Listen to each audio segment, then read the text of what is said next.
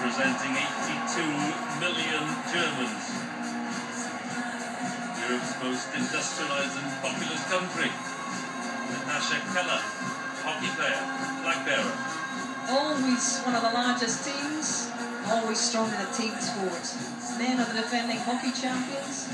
Their best sport in 2008 Beijing was the equestrian event. Three goals there.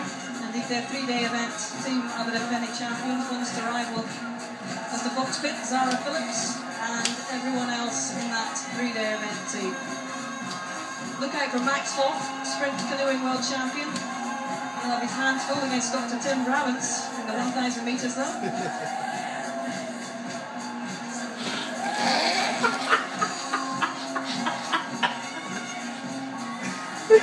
I would love the display.